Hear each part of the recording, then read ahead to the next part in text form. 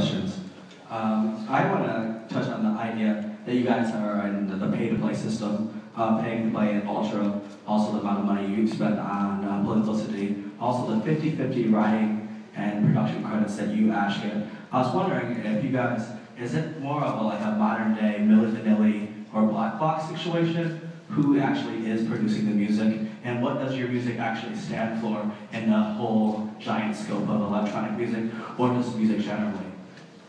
Well, um, it's not really 50-50, first of all. Um, Tim is the main producer. I mean, I've, I've always been the executive producer, and sometimes I have more input and sometimes I have less, but, you know, it's, it's been a big journey that we, that we made together where, you know, I, you know, I had, I had ideas and Tim had ideas and we, we merged them into, into the same brand. But ultimately, Tim is, you know, Tim is the producer, so he's, he's the main guy.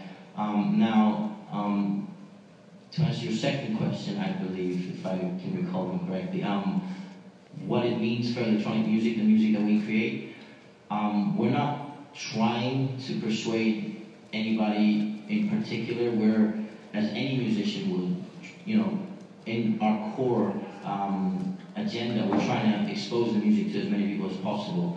Now, we started in electronic music, and we believe we're still there because we're staying, we feel we're staying true to the original sound that we created, which is based on energetic, you know, uplifting melodies.